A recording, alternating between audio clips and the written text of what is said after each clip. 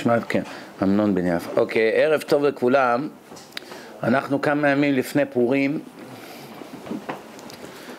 יום חמישי צום, תענית אסתר, מוצאי שבת קריאת המגילה, יום ראשון קריאת המגילה בבוקר, פעם שנייה, פעם בלילה, פעם ביום, יום ראשון סעודת פורים, בשר, יין, מצווה להשתכר, אבל לא להשתכר כמו שאתם חושבים.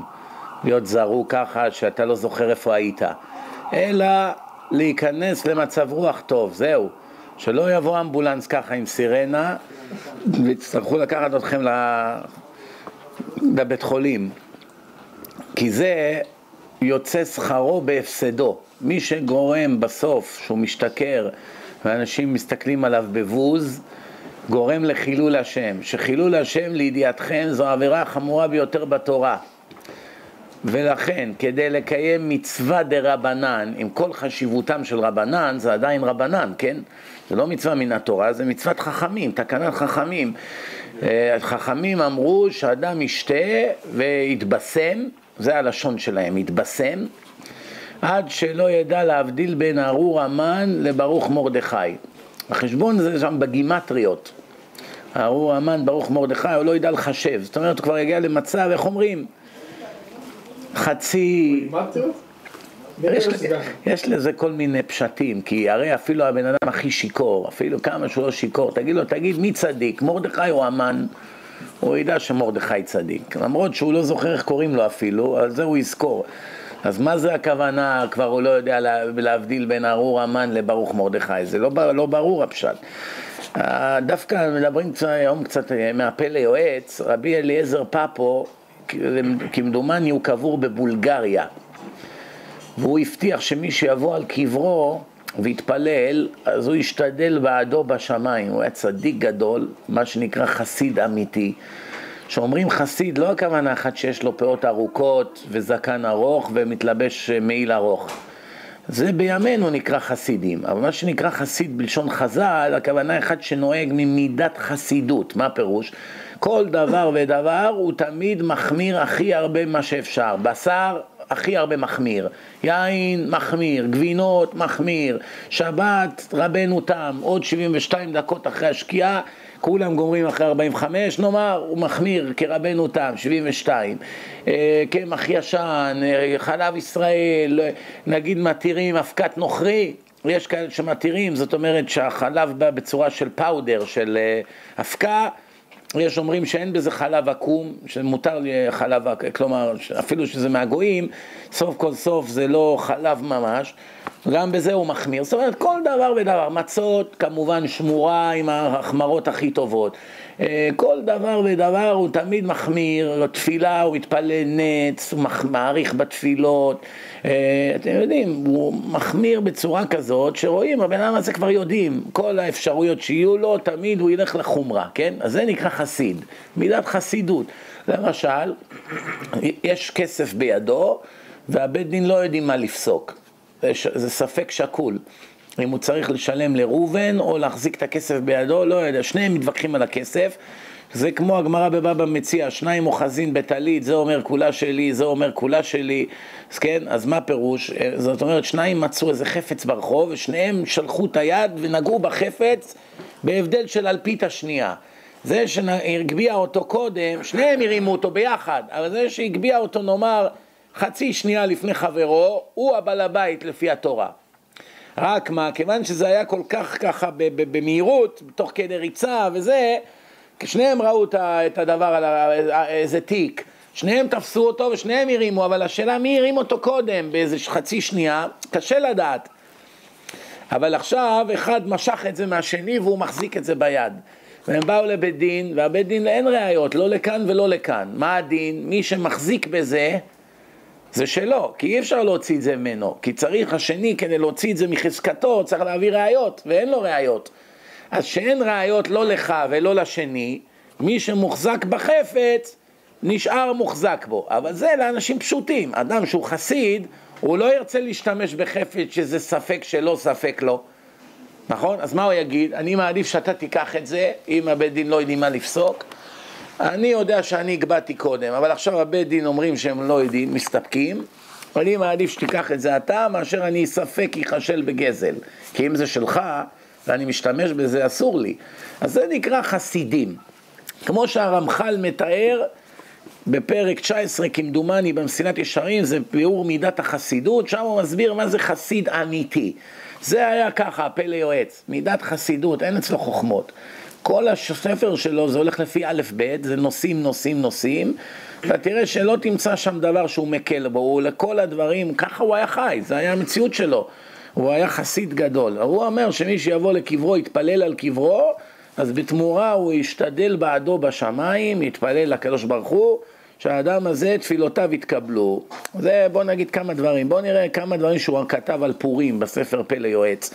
אז הוא כותב ככה, פורים הם ימים טובים, נזכרים ונעשים. זה, זה יום זיכרון לזכר הנס הענק הזה שעם ישראל צריך חס ושלום להיכחד כולו וזה לא שואה כמו שהייתה בזמן הגרמנים שהרגה שליש מהעם היהודי. ככה מעריכים, שליש. היו נאמר 18 מיליון, הם טוענים שהרגו 6 מיליון, למרות שכבר אמרתי לכם פעם, מאוד קשה לדעת כמה באמת נהרגו בשואה. מאוד קשה.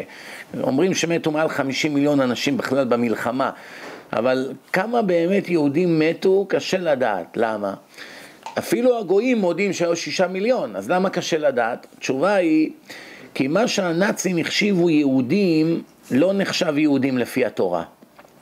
אם הנאצים לקחו אחד שאבא שלו יהודי, קוראים לו כהן, או לוי, או מוסקוביץ', לא משנה, רוזנברג, והאימא שלו גויה, אז מבחינתם הוא יהודי, חצי יהודי, אין אצלם חצי יהודי. יהודי, אתה, אם יש לך שם יהודי, אמרנו, מוציא אותו להורג. עכשיו, יכול להיות שהמוסקוביץ הזה, והרגו אותו, ואת אשתו הגרמניה שהתחתנה איתו, או שאותה שחררו, אני לא יודע בדיוק איך זה היה, אבל היו, היו עכשיו כמה ילדים, אז הילדים האלה גם יש, קוראים לכולם כהן, אבל הם כולם גויים. כל הארבעה ילדים הם כולם לפי התורה גויים. אז הרגו את הכהן הזה, שהוא יהודי, אבל על ארבעה ילדים שלו בעצם היו גויים. בשמיים לא נחשבים יהודים. אז אם באמת יחשבו בסופו של דבר כמה באמת יהודים, כמובן נשמות יהודיות נרצחו, לא יודע, יכול להיות שזה הרבה פחות, קשה לדעת. כי גם היום המצב פה באמריקה הוא מאוד דומה. קח את כל השמות כהן באמריקה, תראה שלפחות 20% מהם לא יהודים.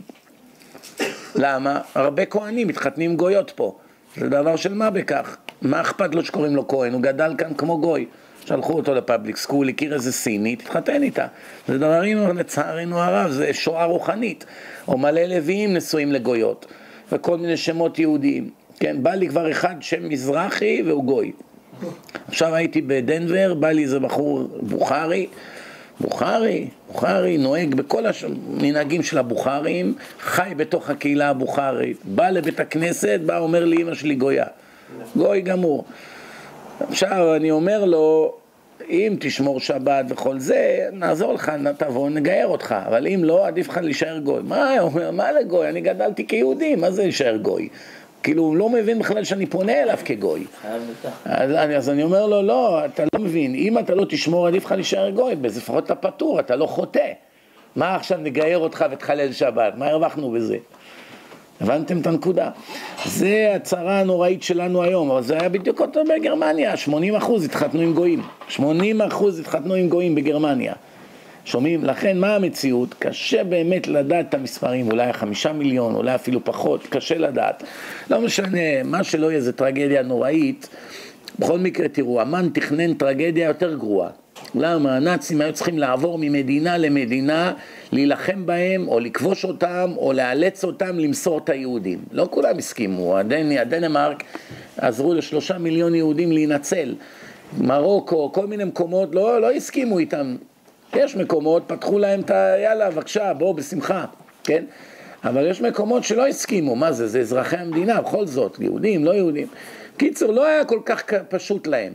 אבל המן קיבל כבר את החותמת של המלך, 127 מדינות בשליטתו, שלח כבר מכתבים, את הנעשה אין להשיב, גמרנו. אז הגזרה הייתה סגורה, חתומה, ופתאום היה זה מה שנקרא במגילה ונהפוך הוא, הכל התהפך.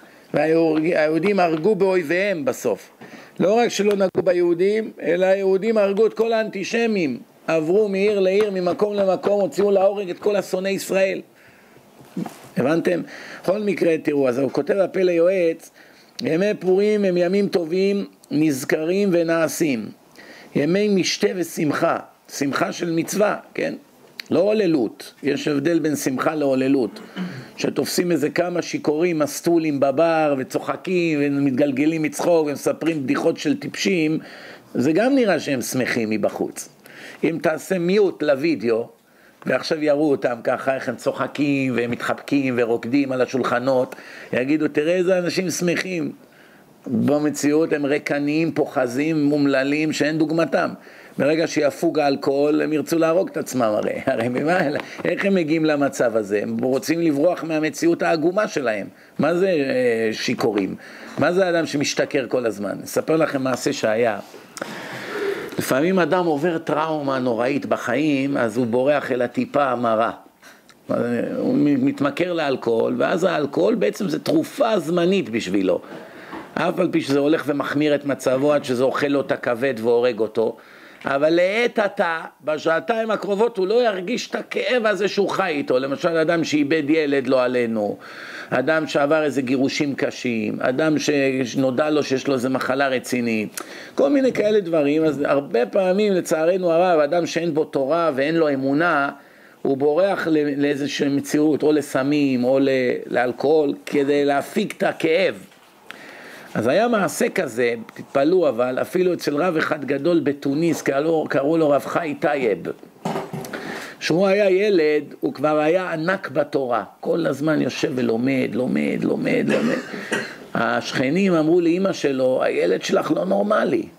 הוא לא משחק עם הילדים, כדורגל, שום דבר, לא יוצא כל היום מהבית, כל היום יושב עם הדפים שלו וכותב, מה זה פה? לפני מאה שנה, מעל מאה שנה זה היה. הילד שלך לא נורמלי, הילד שלך לא נורמלי, מי תתחתן, מי תתחתן איתו, מה זה פה?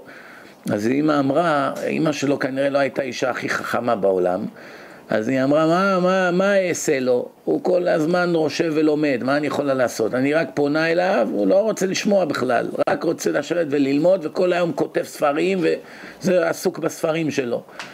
אז השכנה הארורה הזאת אמרה לאימא, יש לי רעיון. יום אחד תשלחי אותו למכולת, לשוק, לקנות משהו. בזמן שהוא הולך לשוק, תקחי את כל הדפים האלה שהוא כתב במשך השנים, תכניסי הכל בתנור, תשרפי הכל, כשהוא יחזור, הוא יראה שכל השנים האלה שהוא ישב ובזבז על הכתבים האלה, כך וכך קרה לו, אז הוא כבר יתייאש והוא יעזוב את זה. והאימא הטיפשה הזאת קיבלה את העצתה, הכניסה את כל הכתבי תורה שלו, שרפה את הכל בתנור. חזר, הוא היה ילד עדיין, נער, חי טייב חזר מהשוק, ראה כזה דבר, נשבר לו הלב. אתם צריכים להבין, לאדם שכל חייו זה התורה, וישב שנים וכתב שורה על גבי שורה עם נוצה, לא כמו היום עם עטים. הרבה יותר קשה, כל ארבע, חמש אותיות צריך לטבול את זה, בנו... לכתוב זה עבודה שבעתיים, ועוד דפים גם היה קשה להשיג, זה לא כמו היום, יש לך דפים, מאה דפים בסנט. אז דפים היו מה, כמו, כמו של ספרי תורה, לא דפים כמו של היום. בקיצור, זה עבודת פרך הייתה, להשיג דפים ולכתוב. כזה דבר, היא שרפה הכל, אז גמרנו, נשבר לו הלב. מתוך שנהיה לו שברון לב, התחיל לשתות ערק. היה שותה ערק, וכל הזמן היה ככה מבוסם, קצת יותר ממבוסם. והיה פולט כבר, לפעמים ככה היה לו, היה עושה כל מיני דברים מוזרים. אז לפעמים, אז היה שם איזה רב אחד בסיס קראו לו, היה הרב הראשי של הבית הכנסת. הוא היה נותן שיעור, והיו יושבים התלמידים בשיעור, וכשהרב היה מסתובב, זה הרב חי טייב, הוא כבר נהיה, הוא היה רב גדול, הוא כבר נהיה, הוא התבגר כבר וזה, אבל הוא היה כל הזמן שותה. אז הוא מש, היה מושך לרב בגלימה, היו לובשים גלימות. הרב היה מסתובב, נגיד, הוא היה מושך לו בגלימה ועושה את עצמו כאילו, אתם יודעים, כמו מעשה קונדס. אז כולם היו ככה צוחקים, איזה טיפש זה, הוא מושך לרב בגלימה, אבל הוא היה בגלל השפעת האלכוהול. אז הרב ראה כזה בן אדם גדול בתורה והוא עושה ככה בושות בגלל השתייה, איך הוא יפתור את הבעיה? הוא לא, היה לו, לא ידע מה לעשות איתו. זה לא איזה פרחח מהשוק שכל החיים שלו מחפש הוללות. זה בן אדם שכל היום לומד תורה. אז הוא לא, לא ידע מה לעשות איתו. היום אחד, אז uh, דיברו ככה בלימוד וזה, אז הרב הזה, הרב חי טייב, אמר לו, אני אשאל אותך שאלה. שואל את הרב, הרב אמר לו, לא חבל שאדם כמוך שותה אלכוהול וזה, אני אדבר עם כל, הר... כל החנויות בעיר, היה שלוש חנויות אלכוהול, שאסור, אני אוסר עליהם, אני כותב להם כתב שאני אוסר עליהם למכור לך אלכוהול, אסור להם, בחרם. אז ההוא אמר לו ככה, שאל אותו איזו שאלה מסובכת בתלמוד, בגמרא, הרב הזה אמר לו, חכה, אני עכשיו צריך לשירותים, אני תכף הולך לשירותים, אני אחזור, אני אענה לך. אז הרב יצא החוצה, בשירותים היה מחוץ לבניין, שירותים ככה בשדה, הלך, חזר אחרי עשר דקות, אמר לו את התשובה. הרב חי טייב אמר לו, טוב, זה לא חוכמה, אדם שואלים אותו שאלה, הוא לא יודע את התשובה, הוא יוצא החוצה מתחת לכיפת השמיים, בוכה לקדוש ברוך הוא, ואומר לו, תציל אותי מהבושות, תן לי את התשובה, והקדוש ברוך הוא נותן לו את התשובה כדי לחוס על כבודו. והוא אומר לנו שהלך לשירותים. הוא יושב בכלל בתוך הבניין. אז הרב ראה ככה, אמר, לא רק שהוא גדול בתורה, יש לו רוח הקודש. הוא יודע מה עשיתי. יצאתי החוצה, בכיתי להשם. אז הרב אמר לו, עכשיו שבעתיים אני אאסור שלא תיגע באלכוהול. אין בכלל כזה דבר. בא לחנות אלכוהול, אמר להם, רבותיי, הנה שטר, תלה את זה, אני אוסר עליכם. אם הוא בא, תראו לו את השטר, זה, זה בבית דין. אסור לכם למכור לו אלכוהול. אז הוא בא לחנות הראשונה, אומרים לו, אנחנו מצטערים, לא יכולים, הנה הרב בא, היה פה, נתן לנו אישית את האזהרה הזאת, ישימו אותנו בחרם, נפשוט רגל תוך יומיים, מה? הלך לחנות השנייה, גם שם היה מכתב. בא לחנות השלישית, ההוא היה רועד ממנו. אומר לו, תשמע, מחילה, לא, למכור לך אני לא יכול. אתה רוצה, תיקח, אל תשלם, תיקח. אבל אני למכור לך לא יכול. הוא פחד להתעסק איתו. לא ידע מה לעשות, הוא עכשיו בין הרב הראשי לבין החכם. אמר לו, אתה רוצה מצידי תיקח, אבל אני למכור לך לא יכול. ההוא ראה ככה, לא לקח. טוב, בשבת בבית הכנסת, הרב הראשי הזה, הרב בסיס, עולה לתת דרשה, כל שבת הוא נותן דרשה אחרי התפילה, לפני מוסף, עולה לבמה, לוקח איתו רמב"ם, לוקח גמרות, אומר שבת שלום, היום אנחנו בפרשת כך וכך, נדבר בפתאום, נעלם לו הדרשה, נעלמה לו הדרשה מהראש, התחיל להתבלבל. אז הוא ככה חושב, ככה כמה שניות, מוציא את הגמרא, פותח את הרמב"ם, אומר אנחנו נדבר היום בזה, מתחיל למלמל, ככה עוברים איזה כמה דקות, והוא לא יכול לדבר. אז הוא קורא לגבאי, אומר לו בוא, בוא רגע בוא. אומר לו, תגיד, הרב חי טייב נמצא פה בבית הכנסת? אומר, הוא כן שם, מתחבא מאחורי הווילונות. אומר לו, לך מהר תקרא לו. אז הוא קורא לו, מביאים אותו, ככה עכשיו כל הבית הכנסת, זה מאות אנשים בתוניס. רואה, מתלחשים ביניהם, אומר לו, הרב חי, ואני יודע מה עשית, אתה סגרת לי את הראש. אני לא יכול לזכור כל מה שבאתי לדבר, משהו פה לא מובן, לא יכול לחשוב. אז הוא אמר לו, אתה סגרת לי מלמטה, ואני סגרתי לך מלמעלה. אתה תשחרר מלמטה, אני אשחרר מלמעלה. יעני מה, חבית של אלכוהול, הוא מוזג לו בקנקן, ערק, לא יודע מה שהיה שם. הוא אמר להם, לא, לא, סגרת לי. אז הוא אומר, טוב, אני משחרר לך. מבטיח לך, אני מבטל את הגזרה. אמר לו, תעלה, תיתן דרשה עכשיו. הוא עלה לבמה, נתן דרשת חייו. זה היה, תראו איזה אדם גדול הוא היה. זה לא היה אדם רגיל, זה גם היה לו רוח הקודש. אבל מה, עם כל זה, ששרפו לו את הכתבי הקודש של שנים, של עבודה של שנים, נשבר לו הלב. אז אנחנו רואים שלפעמים אנשים מסכנים, לא, שלא נעמוד בניסיונות האלו, מתוך הכאב שהם לא יכולים להתמודד איתו, הם בורחים לאלכוהול. ואז הם מתחילים לעשות בושות. במיוחד שזה אדם דתי, רואים איך הוא מתנהג, הוא מבייש את אשתו, מבייש את המשפחה שלו, מבייש את הקהילה, או שכמו שכל שנה פה בפורים יש עשרות של בחורי ישיבה שלקחו את המצווה ככה כפשוטה ושתו ושתו ומערבבים השקעות עד שמקיאים ונזרקים ברחוב, ככה זרוקים, ככה עם כל מיני פרצופים ועוברים גויים ומסתכלים עליהם וחילונים רואים אותם ואומרים תראה את החרדים איזה עוללות אז מה יוצא מפה? לא רק שלא יוצאת מצוות פורים לא רק שאין פה קידוש השם, לא רק שאין פה פרסום הנס, מה יוצא מפה? חילול השם וחורבן נורא. לכן תדעו לכם, כל מי שיודע שהוא שותה כוסית שניים והוא מתחיל לדבר שטויות, אסור לו לשתות. מי שיכול לשתות כמה כוסות יין והוא נכנס קצת למצב רוח טוב, אבל עדיין הוא בשליטה, אז הוא מקיים את המצווה להתבשם. אבל מי שיודע שישר הוא מתחיל להתנדנד ולפלוט שטויות ולפגוע באנשים, ועוד שנייה הוא יתחיל להקיא ולגהק, ומתחיל לצעוק בקול רם וכל מיני בושות, אחד כזה צריך שישים עליו שומר, יגיד, נתן שמור עליי שאני לא אתפתה, כי כולם מסביבו שותים, אסור לו לגעת באלכוהול, זה חורבן נורא. דרך אגב, שתדעו, אדם שהוא שיכור ורצח מישהו אחר, מוציאים אותו להורג. למה? עוד מעט הוא יתעורר, הוא בכלל לא יזכור מה היה. הוא אפילו לא תכנן, זה, זה אח שלו. יכול להיות שזה אחיו אהובו. הרג אותו תוך כדי שכרות. ועכשיו מה אומרים? מוציאים אותו להורג. למה?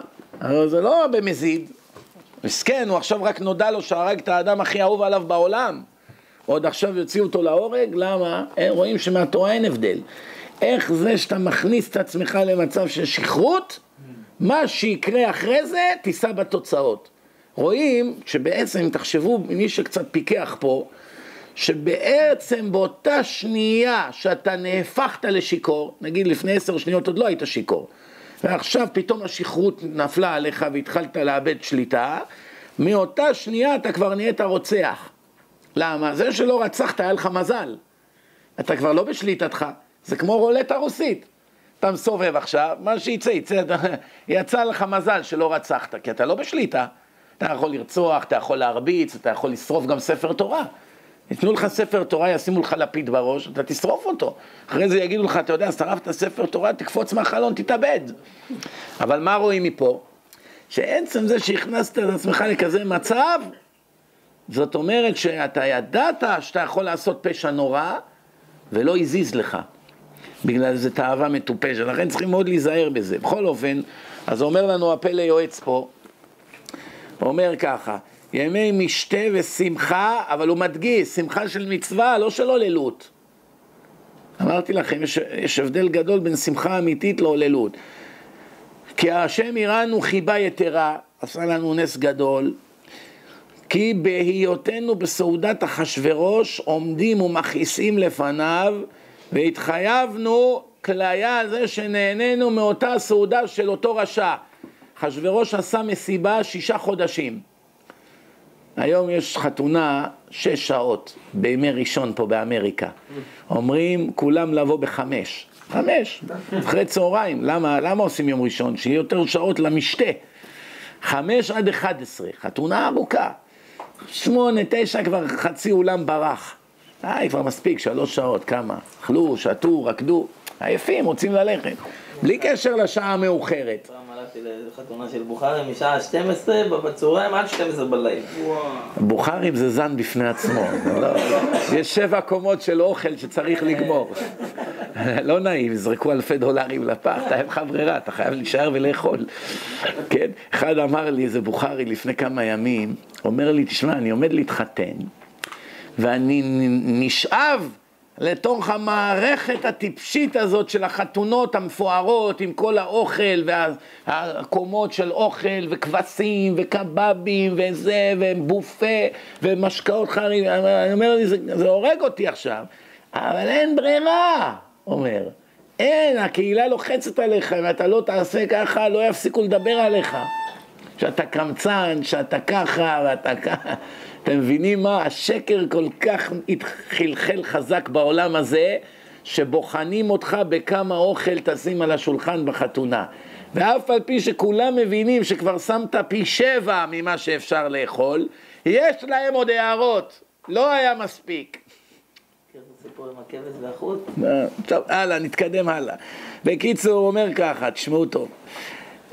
אחשוורוש הביא להם גלת כשר, עשה מחלקה ליהודים, ידע שהם לא יבואו אם זה לא יהיה כשר. כולם היו חרדים. איך יודעים שכל היהודים היו חרדים בפרס? כולם, איך יודעים? כי הרי אמרתי את זה פעם, המן בא לאחשוורוש, הוא מנסה לשכנע אותו להרוג את כל היהודים. זה לא פשוט, גם אם המלך שונא את היהודים, זה לא כל כך פשוט למלך לקבל החלטה להרוג מיליון אנשים או חצי מיליון אנשים, זו החלטה היסטורית, זה לא דבר פשוט.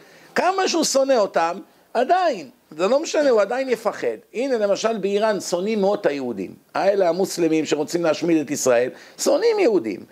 אבל מה, הם לא מעזים להוציא את יהודי איראן להורג. למה? הם יודעים שזה לא פשוט, זה כל העולם, זה, זה דבר שייזכר לדיראון עולם. אף על פי שכבר היו דברים מעולם, בכל זאת מלך אפילו אנטישמי, שונא יהודים, יעדיף לגרש אותם מאשר להרוג אותם. זה כבר ההיסטוריה הראתה לנו.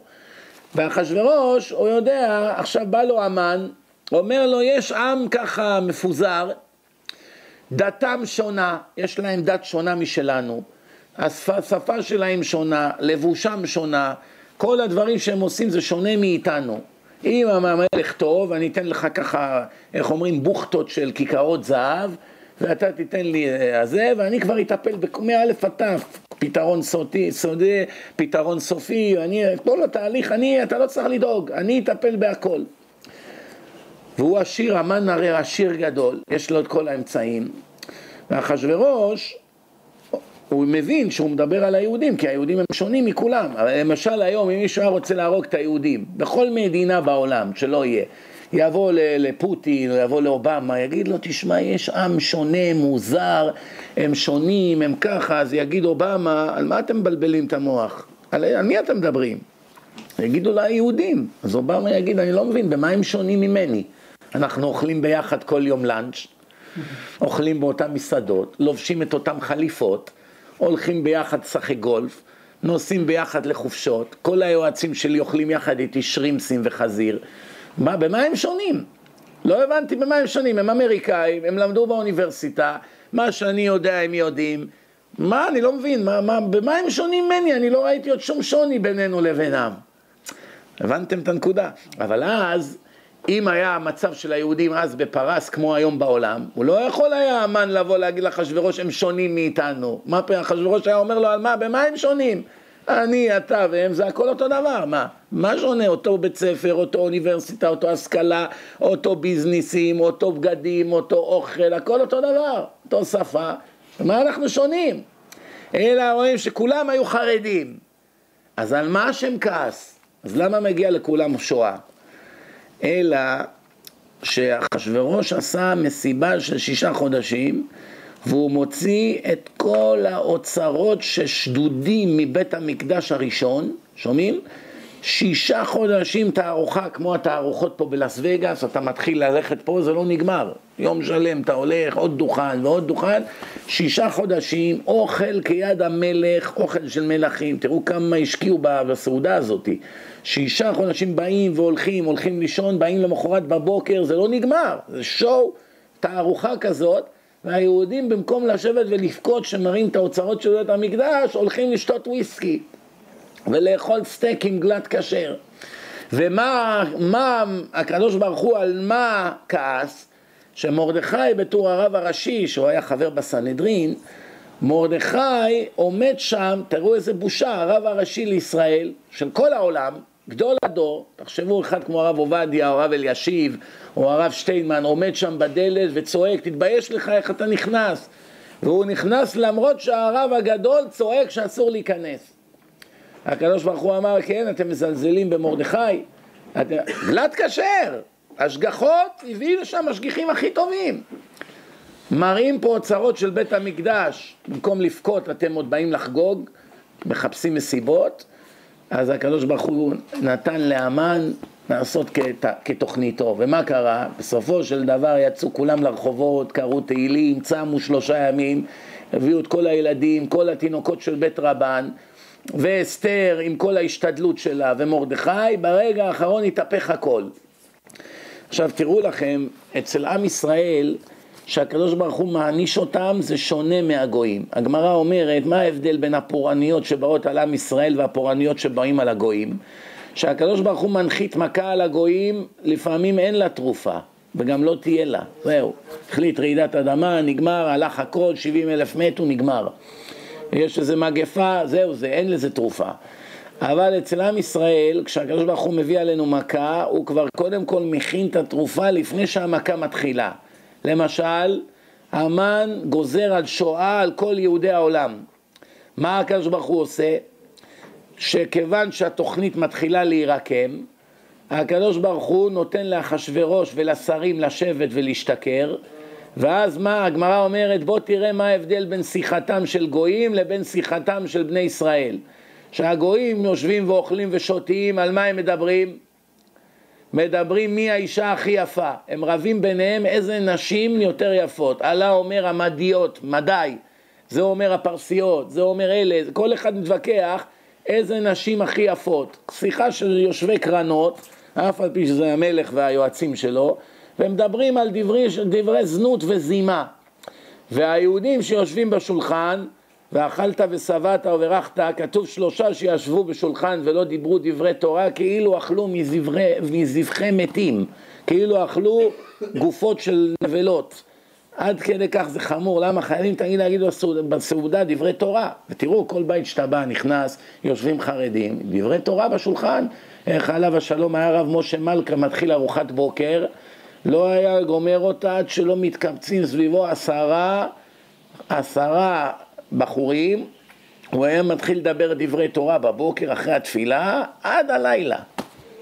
אתה ידעת שאם הרב משה מלכה, זכר צדיק לברכה, קרא לך לבוא להצטרף אליו לארוחת בוקר, כבר ידעת להתקשר לעבודה, להגיד היום אני לא בא. אחרי התפילה, ככה זה היה. אני פעם אחת בעצמי השתתפתי באחד הסעודות האלה עד הערב. אין, כמעיין המתגבר, דברי תורה ודברי תורה, נהיה מנחה וערבית בערב כבר. ככה זה היה. דברים של יום יום, יום ביומו, כן? בכל אופן, מה העניין? אז אה, אחשוורוש רוצה להראות שוושתי אשתו הכי יפה. מה אומר? לכו תקראו לה שתבוא ערומה ליד כולם. שומעים מה זה מלך שיכור? הוא רוצה שאשתו תבוא תראה איזה גוף יפה יש לה, אז הוא דואג שהיא תוריד את כל השמלות הגדולות שהיו לובשים אז, לא היו מתלבשות אנשים כמו היום. היום לא צריך להגיד לאישה תתפשטי, היא כבר לובשת ערומה ברחוב, מה, מה יש לה, אבל אז היו מתביישים ללכת ככה ברחוב. אבל עכשיו כטוב לימבם ביין, הם כבר שיכורים, אומר תביד ושתי ערומה. למה, אומר, למה ושתי קיבלה כזה עונש?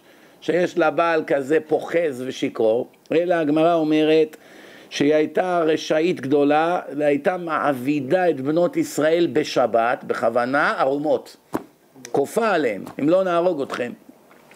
אז הקדוש ברוך הוא עשה לה מידה כנגד מידה. אז היא לא רצתה לבוא, כן? הגמרא אומרת גם, יש כמה דעות למה היא לא רצתה לבוא, כי היא לא הייתה איזו צנועה גדולה, כן, היא הייתה פרוצה בעצמה, אלא כן היא באה ממשפחה מיוחסת, ובאותו יום היה לה פריחה, מה שנקרא אבעבועות בימינו, היה לה פריחה, אז היא לא רצתה להראות את הגוף שלה ככה, אז היא סירבה לבוא. ואז מה שקרה, המלך היה צריך להחליף אותה, והקדוש ברוך הוא גלגל שבגלל זה הוא ייקח את אסתר, ואסתר כבר, היא כבר מתחילה את ההצלה של עם ישראל. רואים שכל המהלך הזה שהוא קרא לאשתו שתבוא ושאסתר תחליף אותה וכל זה, כל זה זה עוד לפני שהמן גזר את הגזרה בכלל. לפני שעכשיו מוצאים את היהודים להורג. הקדוש ברוך הוא כבר התחיל את התהליך של ההצלה. זה מה שאנחנו אומרים כל בוקר בברוך שאמר, ברוך גוזר ומקיים.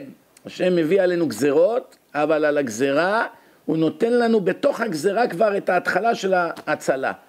הרבה פעמים אדם נעצר, לוקח אותו שוטר פה למעצר, הוא כבר חרב עליו עולמו, אומר תראה אני אבוד וכולי, ופתאום קורים, קורים כאלה ניסים, פתאום איזה שוטר במעצר, פתאום נהיה נחמד אליו, הוא קורא להוא והוא מטלפן לעורך דין, והעורך דין בא, ופתאום מצאו שהוא שכח למלא איזה פרט.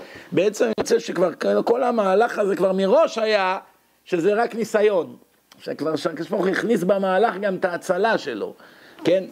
הרבה פעמים ראינו, למשל דוד המלך, דוד המלך בורח מפני שאול. זה מה שכתוב בתהילים, שדוד המלך אמר, אני אמרתי בחופזי, כל האדם כוזב. מה זה אני אמרתי בחופזי? חיפזון זה שבורחים, נכון? דוד היה בורח משאול, כל פעם מחליף מקום, הוא היה נרדף, שאול רוצה להרוג אותו. אז תוך כדי שהוא היה בורח, הוא כתב, אני אמרתי בחופזי, היום שאני במרוצה ואני בורח, אז אני יודע, כל האדם כוזב, אי אפשר לסמוך על אף אחד. חוץ מעל הקדוש ברוך הוא אי אפשר לסמוך על אף אחד. כל העולם הזה שקר. כוזבים, כזבים. אי אפשר, מי, מי יודע מאיפה תקבל את הסכין? מי ילשין? אז דוד שאל את הקדוש ברוך הוא, אני רוצה לברוח לעיר קהילה, עם עין. האם יסגירו אותי אנשי קהילה לשאול או לא? אתה רואה איזה, איזה רמה היה לדוד המלך שהוא יכול לדבר עם הקדוש ברוך הוא, יש לו רוח הקודש, נביא. הוא מדבר עם הקדוש ברוך הוא, והוא שואל את הקדוש ברוך הוא, האם יסגירו אותי אנשי קהילה לשאול? אני יכול לפתוח בהם? אז הקדוש ברוך הוא אמר לו, יסגירו. מכאן דרך אגב זה אחד המקומות שמוכיחים מהתנ"ך שהקדוש ברוך הוא יודע את העתיד. כי הרי היוונים, היוונים נקלעו לקושייה. אם הקדוש ברוך הוא יודע את העתיד, איך לאדם יש בחירה? מצד שני אי אפשר להגיד שהאדם הוא רובוט, כי אחרת אי אפשר יהיה להעניש אותו. אם אתה טוען שהאדם הוא רובוט, איך תכניס אותו למאסר או תוציא אותו להורג? זה לא טוב לחברה, אז חייבים להוציא אותו להורג, כן? אבל אם נוציא אותו להורג, בעצם יוצא שאנחנו אומרים כאילו שהקדוש ברוך הוא לא ידע את העתיד. אז הם התחילו להיכנס פה למבוכה. אז באמת זה לא סותר. עצם זה שהקדוש ברוך הוא יודע את העתיד, זה לא משפיע על בחירתו של האדם, זה ידיעה חיצונית. יש לי הרצאה שלמה בזה על בחירה חופשית ב-website, אבל בכל מקרה רק שנבין. אז, אז דוד המלך שואל את הקדוש ברוך הוא, אם יסגירו אותי, הקדוש ברוך הוא רואה מה יהיה מחר, אומר לו כן. אז הוא ראה שאי אפשר לפתוח באף אחד. כתב, אני אמרתי בחופזי, כל האדם כוזב.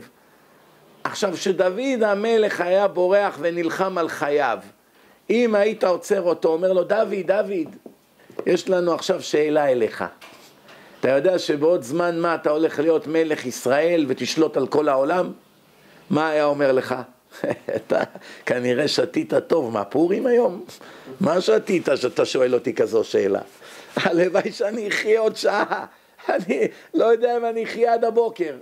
אתה שואל אותי אם אני אהיה מלך? הרי מי הוא היה? רועה צאן, אמרו עליו שהוא ממזר מסכן, כי הרי אבא שלו פרש מאשתו וזה וכולי. הוציאו עליו, הוציאו עליו, לא, לפני כל זה, הוציאו עליו שם, הוא היה הרי כל הזמן בערים. עובדה הרי היה ששמואל בא למשוך אותו למלך, הוא הביא את שמן המשחה בתוך קרן, עמדו כל האחים שלו, שמואל היה בטוח שזה אחד מהם. בסוף השמן לא יצא. אז אמר לו לישי, מה אין לך עוד בנים? אומר, לא, לא, לא, זה, זה אלה, זה אחד מאלה. אומר לו, לא, לא, השמן לא נשפך, זה לא אחד מאלה. השם אמר לי, בבית ישי המלך נמצא, המלך החדש, אבל אלה הנה, השמן לא יוצא. הוא אומר לו, לא, זה לא יכול להיות, יש לי איזה אחד, איך אומרים, אנחנו דואגים שהוא יהיה מוחבא בערים, שלא יראו אותו. כמו איזה חרדי שיש לו איזה ילד שירד מהדרך, אז הוא דואג תמיד להחביא אותו, הוא לא מביא אותו בראש חוצות. איך אומרים, קח לך חדר, תשכיר לך דירה באיזה עיר אחרת, שלא תעשה לנו בושות. כשאתה בא לעיר תתלבש כמו חרדי, למה? אתה תהרוס למשפחה את כל השם. הכל סובב סביב המה יגידו. הבנתם? ככה זה החברה היום. אז גם ישי מחביא אותו, ועכשיו ישי זה אחד מהאנשים הבודדים בהיסטוריה שהגמרא אומרת עליהם שמעולם לא חטאו. ארבעה אנשים מעולם לא חטאו. אז למה הם מתו? הרי, הרי איש בחטאו יומת. למה הם מתו אם הם לא חטאו? הגמרא אומרת, כיוון שנגזר על האדם מיתה, אדם הראשון, בגלל, בעטיו של נחש, הגמרא אומרת. בגלל הנחש שפיתה את אדם וחווה ומה שיצא מזה, הקדוש ברוך הוא גזר עליו מוות. אם לא אותו עוון הוא היה חי. הרי מה היה? היו שני עצים, עץ, עץ הדעת ועץ החיים. אז אחרי שהוא אכל מעץ הדעת, מה כתוב בתורה? פן יאכל מעץ החיים וחי לעולם. זה מה שכתוב. לפני שהוא מהר עכשיו ילך יאכל מעץ החיים, מה הקדוש ברוך הוא עשה? גירש אותו מגן עדן וכולי, כן? אז מה אנחנו רואים מפה? שאישה היה מחביא אותו, וכשדוד הלכו לקרוא לו, הוא נכנס, השמן קפץ מתוך הקרן על הראש שלו, לא היה צריך לשפוך אותו, נגד חוקי הגרביטציה, נגד הכוח משיכה, השמן קפץ מהקרן על הראש שלו, הוא היה עמום שמואל, ואז הקדוש ברוך הוא אמר לשמואל, תראה מה זה, אתה הנביא, הרי שמואל החז"ל אומרים עליו שהוא היה שקול כמשה ואהרון ביחד. לא היה סתם נביא, זה אחד מבכירי הנביאים. אז כתוב, שמואל היה עמום, הוא אומר, מה, אני בחיים לא הייתי חושב שזה המלך. רואה אותו, איך הוא נראה, רואה צאן, ככה בא עם החליל וזה. ואלה ככה כולם נראים בני תורה, חסונים. וזה. אז הקדוש ברוך הוא אמר לו, האדם ירא לעיניים והשם ירא אל הלבב. אני, השם חוקר כליות ולב, אתה רק רואה חיצוני, אני רואה את הפנימי, מעביר את האדם רנטגן רוחני, מי הוא, מה הוא. אתה רק מסתכל על הזקן ועל התרבוש, אבל אני גם רואה מבפנים מה הולך. לנביא הוא אמר את זה, קל וחומר אנחנו, כן? אז בעצם מה רואים מפה? שבתוך כדי המנוסה של דוד, המלוכה שלו התחילה להתכונן. שהקדוש ברוך הוא כבר הכין לו את המציאות הזאת, שאו-טו-טו אתה הולך להיות מלך, ובינתיים השם לא אומר לו את זה. השם יכל להגיד לו, מה אתה דואג דוד, קהילה, לא קהילה? אתה כבר המלך החדש שלי. עוד מעט יודיעו לך שאתה מלך. לא אומר לו, ממשיך לנסות אותו. אומר לו, כן, ממשיך איתו בדרך הטבע. השם אומר לך, אני אלך לקהילה, אומר לו, יסגירו אותך, ואז שאול יהרוג אותך. ומה הראייה נוספת? שהקדוש ברוך הוא בא לשמואל, אומר לו, לך תודיע לשאול שקרעתי ממנו את הממלכה ונתתי אותה לרעהו הטוב ממנו. מי זה? דוד. מה שמואל עונה לקדוש ברוך הוא? איך אלך ושמע שאול והרגני. שואלים חז"ל, מה קרה לו לשמואל? מה? מה קורה איתו? הרי מה זאת אומרת איך אלך? הקדוש ברוך הוא אומר לנביא, לך תמשך מלך חדש ותודיע למלך הקודם שהוא מפוטר. אז עכשיו, מה הוא פוחד שיהרוג אותו? הרי הקדוש ברוך הוא אמר לו, אתה קודם כל תודיע לשאול שהוא מפוטר, ותלך תגיד לדוד שהוא המלך. אז מה שמואל אומר לו? אם אני אגיד לשאול כזה דבר, הוא יהרוג אותי. אז מה רואים מפה? למה הקדוש ברוך הוא לא אמר לו, אתה, צוד... אתה טועה, איך הוא יהרוג אותך? אני שומר עליך, אני שולח אותך לשליחות. הקדוש ברוך הוא אמר לו, תיקח איתך איזה כבש ואיזה פער, לא יודע מה, איזה עגל, תיקח את זה איתך, ואם הוא יראה אותך הולך באזור של דוד המלך והוא יחשוד, או יבואו יגידו לו, כי המלכים תמיד היו מרגלים, אומרים להם מה הולך בעם, אם הוא ישאל אותך מה אתה עושה שם, תגיד לו שאתה לוקח אותו להקריב אותו במשכן, אתה הולך להקריב את הקורבן הזה. למה השם אומר לו תשקר? תגיד שאתה, למה? כי אם לא תמות. מה, הקדוש ברוך הוא לא יכול לעשות נס שהוא לא יצטרך לשקר? מה? למה השם אומר לו תגיד, תגיד שאתה הולך להקריב? מה רואים מפה? שהקדוש ברוך הוא עושה את כל מה שהוא רק יכול כדי לא לעשות ניסים גלויים, להתערבב בחוקי הטבע. הוא קבע טבע והוא רוצה שזה יישאר הכל על פי חוקי הטבע. ועכשיו אתה בסכנה, יש מקום של מלחמה, סכנה, ואתה יכול לא ללכת לשם, אל תלך. למה שתלך לשם שהשם ייאלץ לעשות לך נס גלוי עכשיו? עדיף שלא תלך. אז אם באים רוצים לקחת אותך לשם בכוח, תגיד שקר. תגיד, אני לא יכול, אני, יש לי ניתוח. משהו תגיד. למה? עדיף ככה מאשר עכשיו תלך והשם יצטרך עכשיו להזיז 500 חיילים ושהרובה לא יירה וכל מיני כאלה ולהתחיל להתערבב בכל הבריאה. רואים? זה דברים בדוקים. anyway, אנחנו נחזור לעניין, אז תראו מה, מה הוא אומר. הוא אומר, אומר ככה, מרדכי מחה והם נכנסו בכל זאת לסעודה. ושתי קיבלה מידה כנגד מידה. המן קיבל מידה כנגד מידה. בדרך כלל כשאדם רוצה להזיק למישהו, הוא מכין כבר את הקבורה של עצמו. תדעו לכם, ככה זה עובד. כל מה שרצית לעשות לצדיק, בסופו של דבר אתה מכין שיעשו לך. הוא הכין עץ 50 אמה, 25 מטר גובה. בניין קומות היום, נגיד כל קומה זה בערך שלושה מטר נגיד, ארבעה מטר נגיד. אז אתה מדבר פה על בניין של עץ בגודל של איזה חמש-שש קומות. עץ ענק. הכין כבר מקום עם מתלה, הכל, למוריאל, שכולם יראו מרחוק. איך היהודי תלוי. ומה גרם לו, לאותו אמן, להכין לעצמו את הקבורה? הרי הוא איש הכי עשיר בעולם. יש לו כבוד, המלך נתן לו את שלטון גמור. מה כואב לו? יהודי אחד לא משתחווה לו. כולם משתחווים לו. אחד לא רוצה להשתחוות לו, מרדכי לא משתחווה. והוא, וכתוב במגילה שהוא מלא בחמאה, הוא רואה את זה, ועכשיו בגלל מרדכי הוא יהרוג את כל היהודים. תראו מה הולך היום בעולם. זה גם היום בימינו, חרדי אחד עשה מעשה שלא יעשה, רוצים מחר להרוג את כל החרדים. יהודי אחד יראו אותו בטלוויזיה, עשה איזה משהו שלא יעשה, רוצים הגויים למחרת להרוג את כל היהודים. לכן לא סתם כתוב חילול השם זה דבר נורא. זה יכול להביא שואה על עם שלם, זה לא צחוק. מעשה של אדם אחד יכול לעורר אצל ההמונים התלהמות, ומי יודע למה זה יביא, כן? אומר הפה ליועץ, מה הם המצוות שחז"ל קבעו בפורים? ארבע מצוות. א', קריאת מגילה, גברים, נשים, כולם חייבים בקריאת המגילה. אף על פי שקריאת המגילה זה מצוות עשה שהזמן גרמה, שהזמן גרם את זה, ובדרך כלל נשים פטורות ממצוות שתלויות בזמן, כיוון שכאן יש פרסומא דנסא, פרסום הנס, ונשים היו באותו נס, גם הן חייבות בקריאת מגילה. נו, אז אנחנו קוראים מגילה ערב ובוקר. מה עוד? אם הוא יודע לקרוא את המגילה ביחיד, הוא יוצא ביחיד, אבל עדיף ברוב עם הדרת מלך. מה עוד? סעודת פורים. בשר, יין, להתבשם. זה שתיים. דבר שלישי, משלוח מנות איש לרעהו. מה זה משלוח מנות איש לרעהו? משלוח זה אחד, מנות זה שניים לפחות. מנות זה בלשון רבים. חייב כל אדם לפחות משלוח אחד שיש בו שני סוגי מאכלים. יש כאלה מבשלים, מכינים סלטים, חומוס, טחינה, שמים את זה בקונטיינר ושולחים, לא טוב. למה? זה שאתה שולח לו נגיד אחיך או תלמיד שלך, הוא יודע שאתה לא תאכיל אותו משהו לא כשר. אבל מה הבעיה? כשהרבה אנשים מקבלים הרבה משלוחי מנות, והם צריכים גם לתת הרבה, כי באים אליהם אנשים הביתה, דופקים בדלת, מביאים איזה סלסלה.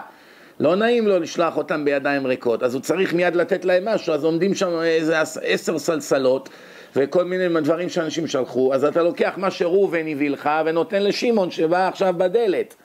בינתיים יש מסחר, זה עובר עשר ידיים. בסוף זה הגיע לאיזה אחד בשם אה, יוסף. היוסף הזה רואה עכשיו איזה טחינה שהוא לא יודע מה המקור שלו. זה לא הראשון שקיבל את זה, הוא יודע, זה שהביא לי את זה הוא אדם כשר, הוא מקפיד בכשרות. זה בינתיים הגיע לזרוק את זה בפח. כי הוא פוחד לקחת סיכון, אולי זה לא כשר. אולי התפשיל הזה שעשו עכשיו עם בשרים ודגים, זורקים איזה 30-40 דולר לפח. לכן מה הפתרון? לא לתת אוכל מבושל, אלא לתת דברים, אתה יכול לשלוח אוכל מבושל, אבל שיש על זה הכשר, שזה בא מהסופרמרקט, מהחנות, מהמסעדה, עם הכשרות על זה, ואז כל אדם רואה בד"ץ, לא בד"ץ. רבנות, איזה רבנות, מה שאתה סומך, אתה יודע אם אתה יכול לאכול או לא. דבר נוסף, איש לאיש, אישה לאישה. גבר לגבר, אישה לאישה, לא גבר לאישה. למה? גבר שקונה מתנות לאישה, הוא מכניס את עצמו בספק קידושין, זה לא צחוק. כן? אם היא מוצאת חן בעיניו והוא מוצא חן בעיניה, יש כבר התחלת של קשר ביניהם. והוא נותן לה מתנה, זה לא טוב. לכן מה צריך לדעת? זה לא צנוע. מה קורה אם אתה בא לבית של חבר שלך והוא לא בבית ואשתו בבית? אז אתה יכול לתת לה את זה ולהגיד זה ממני לבעלך, אין בעיה. אז בדרך כלל מה עושים? נותנים איזה בקבוקון יין ועוד איזה משהו, כמו שאמרתי, איזה עוגה או משהו, עוגיות, אוזני המן, מה שאדם רוצה, אפשר לתת גם פירות. כן? כל מיני דברים, בקיצור, דברים, אבל שיודעים עליהם שהם כשרים, שיש להם כשרויות בלי בעיות. ודבר אחרון, שאולי הוא החשוב ביותר, מתנות לאביונים. מתנות לאביונים, לפחות לשני אביונים, כי זה בלשון רבים, מתנות לאביונים. חייב לפחות שניים. סכום שיהיה מכובד. אתה נותן לו דולר, מה הוא יעשה בזה כבר, כן? משהו מכובד, שיוכל לקנות לעצמו לפחות איזו ארוחה טובה, כן? עכשיו, מה קורה? איזה אביונים כדאי לתת להם? בעיקרון החוק הוא, כל מי שפושט יד נותנים לו. תראו, בפורים באים כולם, מנצלים את היום, אפילו נערים, ילדים, הם לא עניים, יש להם אבא ואמא שמאכילים אותם, אבל מנצלים את היום הזה לאסוף כספים שיהיה להם אחר כך, דמי כיס. אה, למה? הם יודעים את הכלל, בפורים כל הפושט יד נותנים לו, לכן תהיו חכמים מבעוד יום, תכינו אצלכם הרבה סינגלים, דולרים בודדים, למה ידפקו לכם בדלת, או יראו אתכם בכל פינה בבית הכנסת, כבר יבואו אליכם, תכין לך בהרבה שטרות בכיס, למה אם אתה בא עם עשרים, עשר, וכל אחד צריך לתת, אתה חייב לתת לו משהו, לא, אין לך ברירה, אתה נותן לו עשרה דולר, לזה עשרים, לזה עשרים, תוך ארבע, חמש דקות כבר אתה במאה דולר ואין לך כסף. באים לך עוד חמישים ואין לך מה לתת להם. תהיה פיקח, תכין לך הרבה שטרות קטנים, כל מי שבא אתה נותן לו דולר, בארץ שקל, שני שקלים, לא יודע, חמישה שקלים, אתה נותן, נותן, נותן, ואז אתה יוצא לידי חובה לכולם. אבל מה עיקר המתנות לאביונים? לתת לעמלי תורה. למישהו בחור ישיבה עני, שאין לו הכנסה, או איזה אברך, או איזה רווק, לא משנה, אבל אין לו, אתה יודע שאין לו, והוא יושב ועמל בתורה, לפחות בזה שנתת לו כסף, נהיית שותף למצוות שלו באיזושהי צורה, כן? שבזכות הכסף שלך הוא ילמד עוד כמה ימים ביישוב הדעת, אז משהו טוב יצא מה, מהכסף שלך. לעומת זאת, אם תיתן את זה לאיזה סתם פוחז, הוא רץ מהר, קונה לעצמו איזה בקבוק וודקה ושותה, מה הרווחת בזה? כן? או שהלך קנה שש בש חדש, כי השש בש הישן שלו שבור. אז מה יצא מהכסף שלך? כל היום יושב ומקלל ומרביץ ככה על השולחן, כן? אני מכיר איזה אחד שנתן לאיזה, ראה איזה אחד בשוק יושב, ראה שהוא יושב ככה, אז היה פורים, אז ההוא עושה ככה, הלך נתן לו איזה שטר של איזה עשרים שקלים, לא יודע כמה, מה עשה אותו זקן? אמר, אה, סוף סוף אני יכול לקנות מסבחה חדשה. אז הוא אומר לו, מה זה מסבחה? הוא אומר, תעמוד פה, תראה. הוא בא, נכנס לחנות, חנות ככה קטנה כזאת בירושלים, קנה את השרשרת הזאת עם החרוזים של הערבים. הוא אומר, תראה מה זה, משמיים מראים לי, באתי, ריחמתי על איזה זקן שיושב ברחוב סתם, לא, יושב קרנות. מה הלך, קנה בכסף שנתתי לו? שרשרת חרוזים. אבל אם הייתי שומע בכל הגמרא והחכמים, הייתי תופס איזה בחור ישיבה שיושב עם איזה גמרא ביד, בא לו ככה לישיבה, בואי נא חבובצ'יק, בוא רגע, הנה מתנות לאביונים. לא שאתה אביון, כן? אבל תן לי לקיים מצוות פורים, אתה תלמיד ישיבה, קח מאה שקלים. יצא לך מזה משהו. טוב, לפני שנסיים... כל אחד לפי יכולתו. מי שעשיר כקורח, אלפי דולרים. ומי שאיש רגיל, עשרות דולרים, עשרה דולר, עשרים, שלושים, כל אחד לפי יכולתו, כן? אה, אומר, אז אומר, כן, צריכים לדעת, ראוי להזמין כמה אורחים לסעודה, שלא יהיה סעודה משעממת, ודברי תורה, ועכשיו שמתבשמים קצת, אז הדברי תורה יוצאים קולחים ככה, שוטפים ככה בש, בשצף קצף, כן?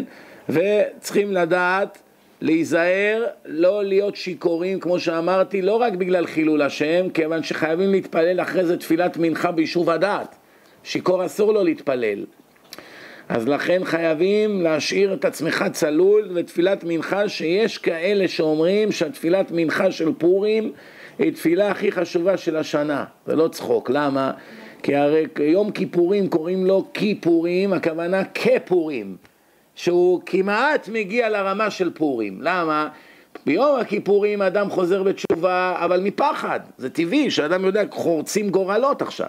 חורצים את חיי הנצח שלו. חורצים את החיים שלו בעולם הזה, חורצים את הפרנסה, את הבריאות שלו, את הילדים שלו, את השידוך שלו, את אשתו. כל מה שהולך להיות לו השנה חורצים, אז הוא רועד. אז ממילא טבעי שיעשה תשובה. אבל בפורים... שזה תוך כדי סעודת מלכים ושתייה של יין משובח ותחפושות וכל זה, ועכשיו זה, איך אומרים, לא סתם, זה לעבודת השם במדרגה אחרת, מתוך אהבה ושמחה וכולי. אז לכן כתוב, ראיתי בהרבה ספרים שאומרים שמי שמתפלל במנחה, תפילה מכל הלב, כל בקשותיו מתקבלים. לכן, איך תבוא עכשיו עם איזה נעלי בית לבוש כולך צבוע בצבעים לתפילה ואתה שיכור. תבוא הגון, תלבש כמו בן אדם, תעמוד בתפילה כמו בשאר ימות השנה. איזה שאלות לפני שמסיימים?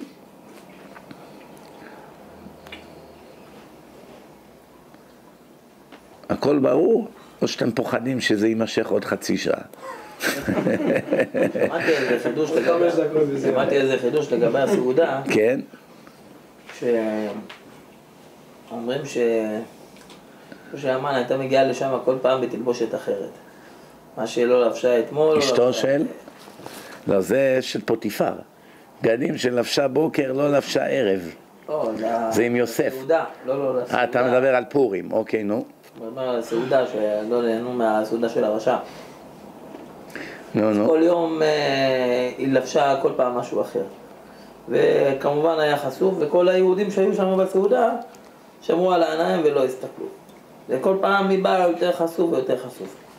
עכשיו, בשבת, הם, אה, הם עשו איזשהו עניין שלא יגיעו, לא יגיעו לסעודה. למה? כי כל היהודים שמה, הם אמרו שהם צריכים ללכת לנטול ידיים. ובנטילת ידיים, יש שם, הם משקים את ה... נופל המים לתוך האדמה ויהיה משקה. כן. אז היהודים לא רצו לחטות בהשקיה בשבת, אז הם לא באו לסעודה. ואז היא אמרה, אה, היהודים לא באים לסעודה, אז גם אני לא בא לסעודה. כביכול, כי לא היה לה על מי להיאזק. אה, וככה זה היה הסוף שלה, ככה השם גלגל, יפה. כן, כי, כי, כי אמרה, אמרו שאין עניין בכלל, היא רצתה שיהודים יחטאו. ואומרים, "מה, עליכם, אתם הגויים גם ככה מסתכלים, זה לא משנה מה, אבל אנחנו רוצים את היהודים. אה, היהודים לא באים בשבת, אז אני לא בא. יפה מאוד. ברוך אדוני לעולם, אמן ואמן. איי.